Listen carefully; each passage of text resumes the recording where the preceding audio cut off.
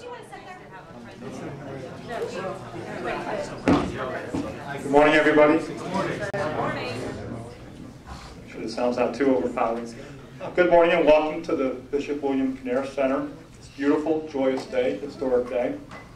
Uh, welcome the members of the local media, uh, the diocesan priests who were able to make it, and of course all the diocesan employees who are here.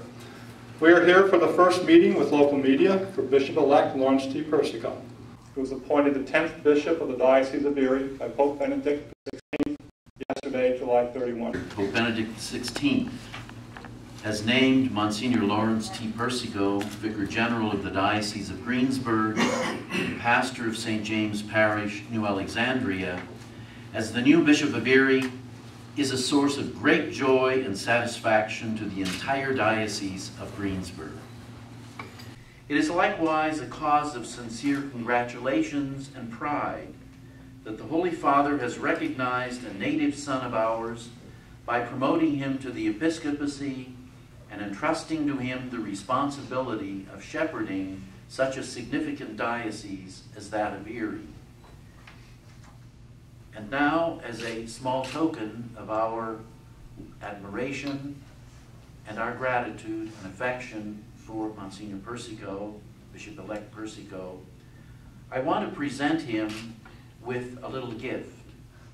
As a bishop-elect, that is, a person who has been named but not yet ordained or installed as a bishop, he has the right to wear what is called a zucchetto at all liturgical occasions, when he's celebrating Mass, when he's administering the sacraments. He wears this particular uh, headdress, a zucchetto, as a sign that he is about to be ordained and installed as a bishop. And so it denotes his rank, so to speak. So, Bishop-elect Persico, dear Monsignor, I want to extend, extend our con heartfelt congratulations to you and present to you this little gift as a token of so much that we owe you for so many years of generosity in ministry and sacrifice for the good of the church in this diocese. So may you wear this with much peace and joy and satisfaction. Thank you.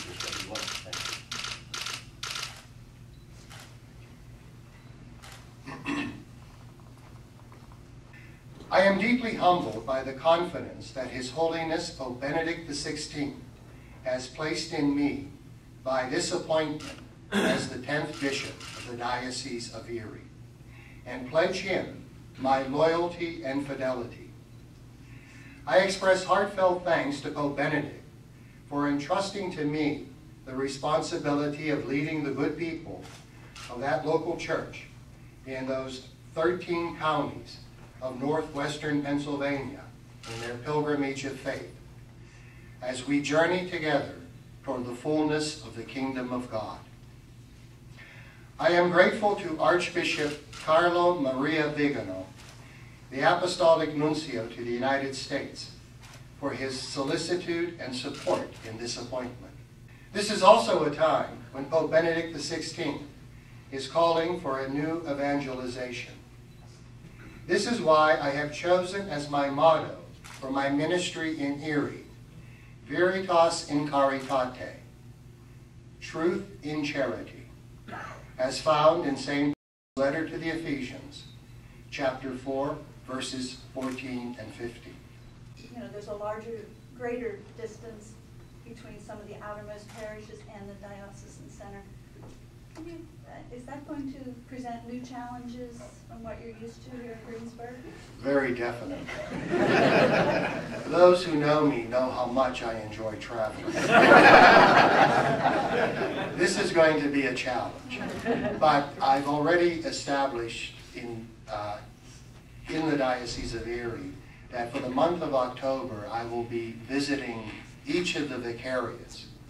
Oh, Father Boniface. Uh, Bishop-elect, you mentioned the the year of faith and the propitious timing of this for you to uh, begin your ministry as a bishop along with the year of faith. And I'm sure lots of plans will develop, but are there any things you're carrying in your heart in terms of bringing the year of faith and the new evangelization to Erie?